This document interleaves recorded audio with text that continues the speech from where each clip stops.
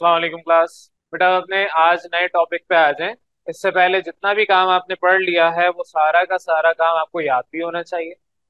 आज हम जो टॉपिक डिस्कस करने जा रहे हैं, वो है मेटालिक बॉन्ड इससे पहले आपने तीन बॉन्ड पढ़ लिए। एक ionic bond covalent bond coordinate या डेटिव कोवलेंट बॉन्ड तीन बॉन्ड पढ़ लिए। तो केमिकल बॉन्ड में जिस तरह ये तीन पढ़े उसी तरीके से एक और बॉन्ड आप पढ़ने जा रहे हैं। इट इज़ मेटालिक बॉन्ड लेकिन ये मेटालिक बॉन्ड सबसे मुख्तलिफ़ है। ये क्या है? आपने बचपन में, बचपन से मुराद शुरू में पढ़ा था कि आपको सबसे इनडिविजिबल छोटा पार्टिकल एटम पढ़ाया गया।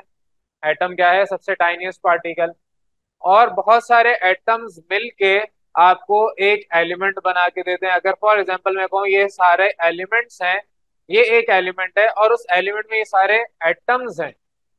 तो एक ही जैसे बहुत सारे एटम्स एक एलिमेंट बनाते हैं। बहुत सारे आप एलिमेंट्स कार्बन के ले लें तो एक कार्बन का एलिमेंट बन जाएगा। बहुत सारे आप एटम्स ले लें सोडियम के तो एक सोडियम का एलिमेंट बन जाएगा। कोई भी आप एलिमेंट उठाएँ, उसके अंदर एटम्स बहुत सारे होंगे और सारे के सारे एटम एक जैसे होंगे। आइसोटोप भी हो सकते हैं, ऐसा बिल्कुल नहीं है कि आइसोटोप नहीं होगा। आइसोटोप भी हो सकता है, लेकिन एटम उसी सेम सब्सटेंस के होंगे। अब यहाँ पर मेटालिक बॉन्ड जो वर्ड यूज़ किया गया है मेटालिक बॉन्ड मेटालिक बॉन्ड अब यहाँ नाम से पहले समझते हैं। मेटालिक मेटल होगा। मेटल के दरमियान कोई बॉन्ड बन रहा है तो उसको हो सकता है मेटालिक बॉन्ड कहते हो। तकरीबन ऐसी ही बात होती है। अगर ये मेरे पास मेटल का एलिमेंट है, कोई भी एलिमेंट है, जो मेटल है, उस एलिमेंट के अंदर एटम भी ज़ाहिर है उसी मेटल के होंगे। तो जितने भी ज़्यादातर मेटल्स हैं ट्रांजिशन मेटल पूरा ग्रुप बी मेटल से भरा हुआ है। ग्रुप वन है और ग्रुप टू है, ज़्यादातर सारे के सारे मेटल्स हैं। जितने भी मेटल्स हैं, उनके अंदर एक ऐसी एबिलिटी होती है जिसमें आप कहते हैं D localise electron D localise electron उन इलेक्ट्रॉन्स को कहते हैं जो कि आपके अच्छा पहले तो वर्ड क्लियर होना चाहिए। डी लोकलाइज आपका ये जो वर्ड है लोकलाइज उसको कहते हैं कि कहीं पे प्रॉपर उसकी लोकेशन है। लोकलाइज लोकेशन से निकाला। है डी लोकलाइज यानी कि उसकी कोई लोकेशन नहीं है। डी लोकलाइज इलेक्ट्रॉन को हम फ्री इलेक्ट्रॉन्स भी कहते हैं मोबाइल इलेक्ट्रॉन्स भी कहते हैं। जो आपकी मोबाइल है, ये जो आपके पास खिलौने हैं, इसको मोबाइल क्यों कहते हैं? क्योंकि ये कहीं पे भी आप लेके जा सकते हैं। लेकिन पुराने जमाने में फ़ोन करने के लिए ये जब इजाद नहीं हुआ था, तब उससे पहले बड़े बड़े फ़ोन होते थे, जो कि आप एक जगह पर रखते थे, उसको वहाँ से हिला नहीं सकते थे। पीसीओ जो वर्ड आपने कभी बचपन में सुना हो या देखा हो, कुछ जगह ऐसी है जहाँ पर अब काम नहीं करते, लेकिन वो शो पीस के लिए म्यूज़ियम के तौर पे वहाँ पर लगा दिए।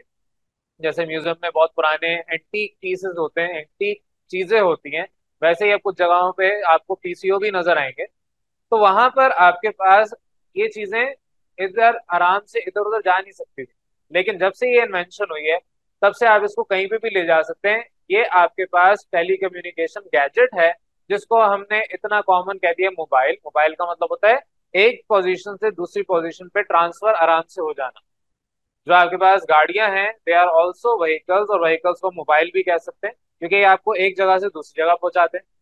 जो आपकी पुलिस की गाड़ी होती है, उसको पुलिस मोबाइल कहते हैं ज़्यादातर। क्यों कहते हैं? मोबाइल वो जो वर्ड मोबाइल है दैट मीन्स कि एक जगह से दूसरी जगह ट्रैवल कर सकते हैं। तो उसी तरीके से मोबाइल इलेक्ट्रॉन्स या फ्री इलेक्ट्रॉन्स या डी लोकलाइज इलेक्ट्रॉन्स वही होते हैं। अब अगर मेरे पास फॉर एग्ज़ाम्पल कोई भी मेटल आइन है, बेटा यहाँ पर आ जाए वापस आपका ये बीच में क्योंकि लेक्चर रुक गया था, शुरू से पढ़ा रहा हूँ। मेटेलिक बॉन्ड क्या है? मेटेलिक बॉन्ड आपके मेटल के अंदर कोई फोर्स ऑफ़ अट्रैक्शन को हम मेटालिक बॉन्ड कह रहे हैं। बॉन्ड जो वर्ड यूज़ किया था केमिकल बॉन्ड में that is basically chemical forces या फोर्स ऑफ़ अट्रैक्शन अब केमिकल बॉन्ड जो आपने पढ़े जितने भी टाइप्स के, उसके बाद अब आप यहाँ पर मेटालिक बॉन्ड पढ़ रहे हैं। मेटालिक बॉन्ड क्या है? ये फोर्स ऑफ़ अट्रैक्शन है between metal ion and delocalize या मोबाइल या फ्री इलेक्ट्रॉन फ्री इलेक्ट्रॉन बोले डी लोकलाइज कहें या आप इसको दूसरा नाम दे दें। तो बहरहाल, आपके पास ये पूरा आपका एलिमेंट है। उस एलिमेंट के अंदर अगर मेरे पास ये एटम्स हैं तो जितने भी आयंस हैं, उनके पास ज़ाहिर एक इलेक्ट्रॉन की कमी है। ये क्या करता है? ये एटम है, ये अपना इलेक्ट्रॉन जो फ्री इलेक्ट्रॉन है, जिसको आप डी लोकलाइज कह रहे हैं। डीलोकलाइज मतलब जिसकी कोई लोकेशन फिक्स नहीं है, वो अपनी मर्ज़ी से इधर उधर घूम रहा है। छोटे बच्चे होते हैं, आप उन्हें एक जगह बिठा के रख नहीं सकते। दे आर डीलोकलाइज उन्हें आपने एक जगह ज़बरदस्ती बिठा दिया तो उनके अंदर चुल मच जाती है कहीं भी भागने की। वो इधर उधर भागते रहते हैं।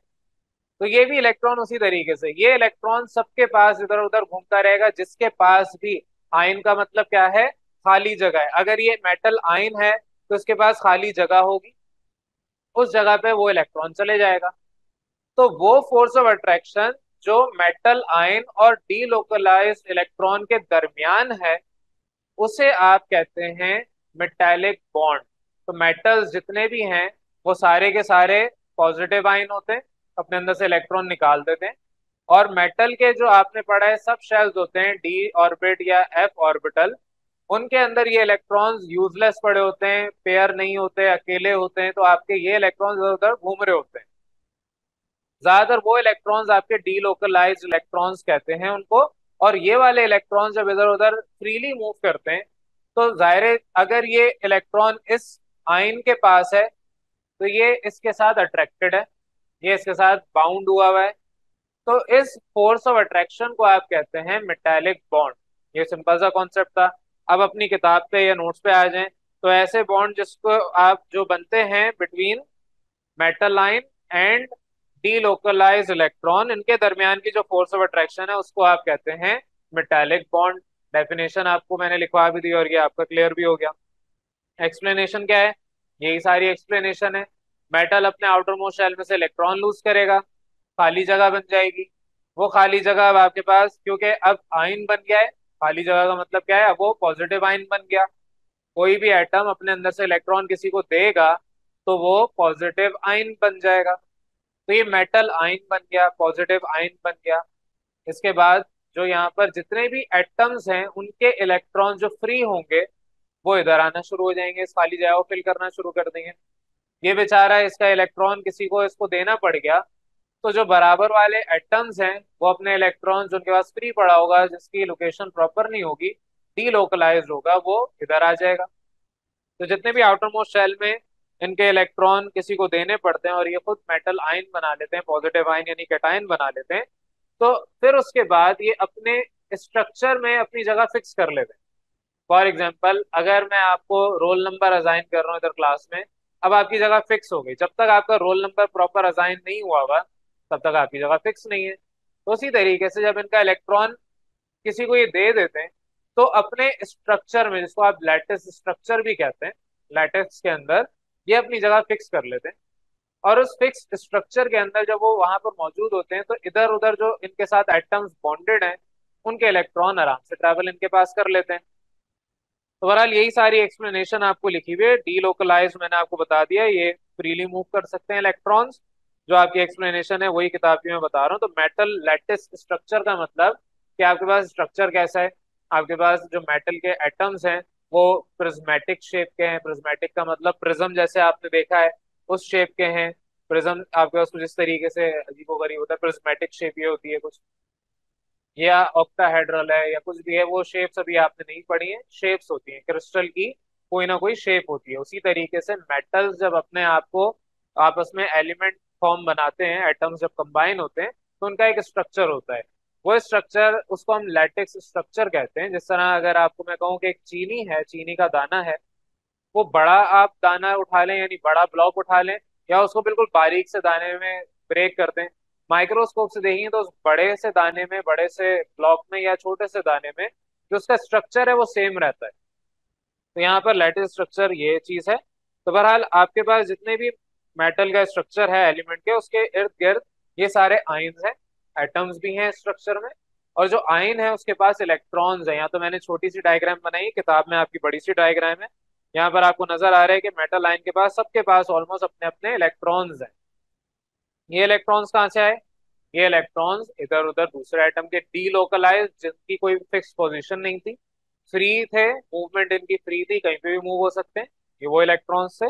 और इस तरीके से ये जो इलेक्ट्रॉन्स और मेटल आयन के दरमियान फोर्स ऑफ़ अट्रैक्शन है, इस फोर्स ऑफ़ अट्रैक्शन को आप कहते हैं मेटालिक बॉन्ड तो मेटालिक बॉन्ड समअप किया जाए तो सिंपल सा है।